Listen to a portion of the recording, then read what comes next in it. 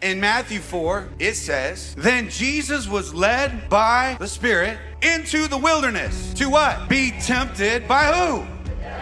In the wilderness, God will test you. It's in the wilderness where I learn to either trust in God or in my fears. If you are in the wilderness today, God is in the middle of it. Some of you are not in a physical wilderness today, but you might be in a relational wilderness. Be very careful. You're in a relational wilderness. The devil will always attack you the hardest in your weakest moments. Devil will always offer you the temporary things of this world in exchange for your soul, in exchange for God's anointing on your life, in exchange for God's purpose on your life. You have to understand the devil wants to bless you with the things of this world so much that it actually curses you. Do you know what happened right before he was tempted? He was baptized. Do you know what happened right after he was tempted? Public ministry began.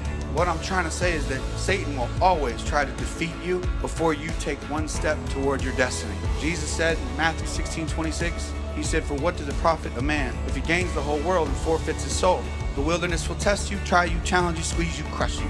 God will bless you. Because every person who leaves the wilderness will never be the same person who entered the wilderness. You'll never be the same. You'll never be the same.